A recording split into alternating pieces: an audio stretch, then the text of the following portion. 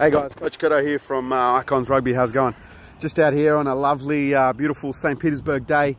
Uh, it's probably about minus six. We've got another speed session with our uh, with my Zastava boys over here in Russia, and um, just uh, I got hit up by a question by one of my uh, Coach Curto stable boys, Angus Dean you know, I, I, I, loved working with this kid. He was fantastic. He had commitment, dedication, hard work. He was relentless for his results. He did what it took and just put in the work. And, you know, he, would come out of school, started working with him with his first year in Colts, um, you know, was able to get some really, really good results on him. He ended up getting selected in, a, in the state side and then, you know, pretty much fast tracked into senior footy. And he reached out, and, you know, this is very, very common for a lot of young fellas. He reached out and basically asked the question of how do you transition from, I guess, schoolboy into Colts, which is realistically club-based schoolboy, like Colts footy, because it's still age dominant, is still schoolboy footy. It's played with the same styles, it's played with the same physiques. People will get chosen because of their their speed on the field rather than their actual ability to play top line footy. And how do they transition into um, how do they transition that into senior footy where it does change a little bit, where especially at a Premier Grade level and also a Q Cup level, you're required to be more like the NRL or Super 15 than you are at, I guess, a schoolboy or a, or a, or a Colts level. So how do you transition? And I guess there's a few things to talk about here because one, you've got the physical nature, two, you've got the knowledge nature, and three, you've got the culture nature. So first we'll talk about the physical. Now, the biggest thing I see as being an S&C coach is a lot of athletes concentrate on the now and don't concentrate on the future. And if you're a schoolboy kid in your last year of schoolboys or even, you know, year 11, I would look to put in a, say, five year plan of what it looks like when you're 22. So that includes the whole transition from year 11, year 12 into Colts into the first two, two years of senior footy. And that transition, that period, so how much weight are you going to put on? What, how strong do you need to be? What kind of athletic performance do you need to have? You know, what's your body shape look like? What's your rehab processes look like?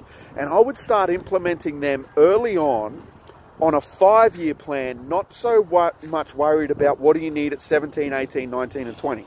Because, you know, not making those rep sides isn't the be all end all. Making them helps you 100%, but some bodies advance a lot later at 22 and fill out a lot bigger then than they do at 17, 18. So you'll be knocking your head up against the wall, psychologically damaging yourself, trying to focus on the short game where you should be trying to play the long game no matter what. So I would advise to seek out help. Um, Manny does a great pathways chat around this. If you need to chat to me online, then reach out and have a chat there. We can definitely do that. But that's the first thing. I would put together a four, a three to five year plan on what does that look like, what weight you're going to need to be to play senior footy, how dynamic you're going to be, how fast you're going to have to be for your position, and move from there. That'd be the first thing around strength and conditioning. And that will help you transition because when you arrive to that senior spot, you're going to be a lot more adapted to and ready for to be able to hand the physical constraints. That is a huge step from Colts footy to senior footy. Okay? Now, the secondary thing I mentioned there is how do you handle the speed of the game, like the game itself. So, one thing everyone always says when they come into senior footy is, man, it's so much faster and so much more physical. And that really comes down to just the experience of the team to be able to perform at a higher standard and the knowledge so that they're not running around like headless chicken trying to play a game where you can literally know where you're moving to and move there dynamically to be able to perform a result. So I would advise you, if you're a schoolboy kid coming into senior footy, I would get out to as many Premier Grade games or Q Cup games as you can to watch them live and watch the guys in your positions to have a look at how they perform, what they do, where do they run to, how's their decision making. Okay, what do they do and don't do?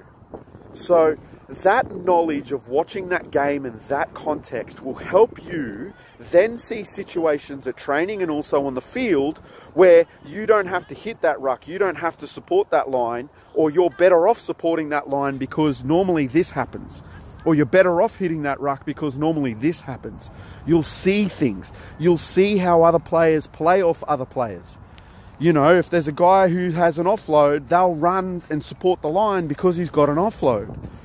You know, you'll see their communication manner. You'll see how they direct and body language and, and talk on the field. And I know as a senior coach, if I get a young fella coming through and he can talk on the field, and he points and he directs and he he knows his worth and his value whether he's young or he's old that to me is valuable because that is a guy who gets instruction and gives instruction. You're not right or wrong. We're not talking about bosses on the field or anything like that. We're talking about guys who know how to direct traffic, know how to give value to a team, and know how to assert themselves because that in a senior footy game is so important to have guys who add value outside of the physical context of the sport.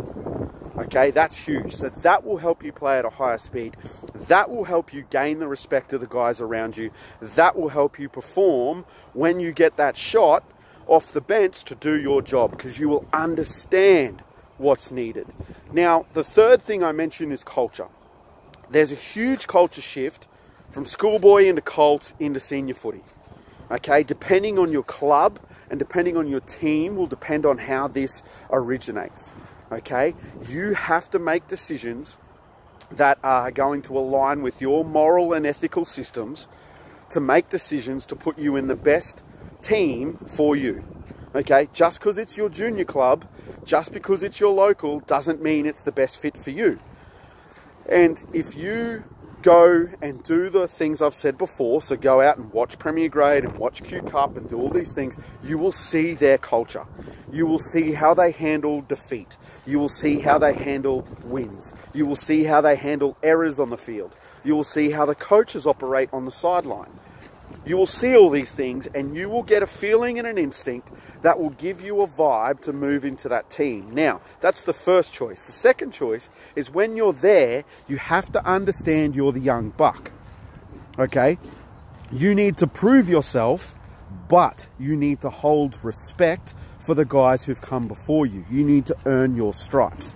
In schoolboy footy, you were given your stripes. In Colts, you were given your stripes. In senior footy, you have to earn them.